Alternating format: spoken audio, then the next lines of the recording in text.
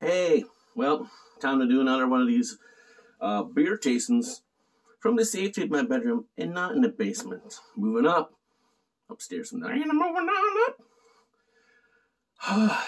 Willibald. What can I say about Willibald? I freaking lo- look at. Oh man, I love Cardinals too. Young Dipper. Yo, yo, this can gangster. It's a gang's ass can, yo. It's like blinged out and even his talons is gold and shit.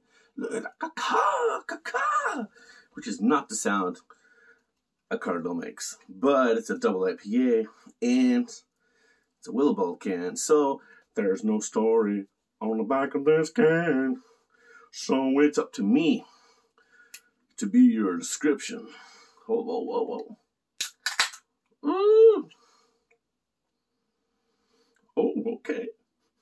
I smell birdseed.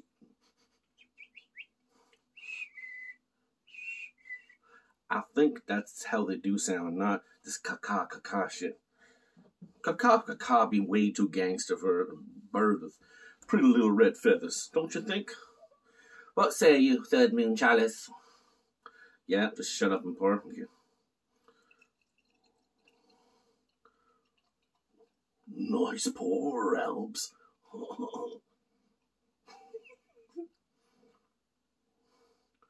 Little to no head. Clap.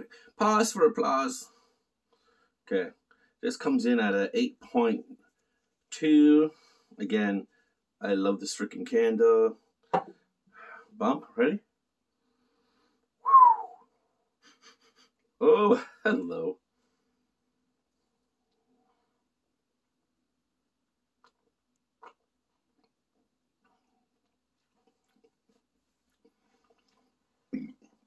Mm. I'm not editing out that bro. Was that loud? Did you hear? it? Okay.